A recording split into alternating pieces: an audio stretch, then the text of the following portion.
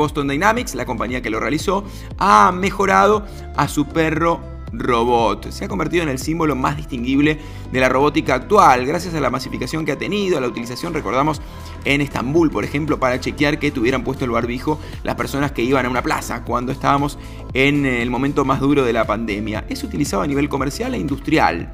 Fue implementado en diferentes áreas para sacar provecho de sus capacidades, las cuales parecen eh, seguir siendo optimizadas, ¿no? Porque hay mejoras que va agregando la compañía a este robot, robot que tiene cámara, que tiene sensores, que puede ser controlado desde una tablet, que puede ser controlado de manera inalámbrica, que puede ser autónomo. Eso quiere decir que se mueve solo por diferentes terrenos. Esto es la clave para mí.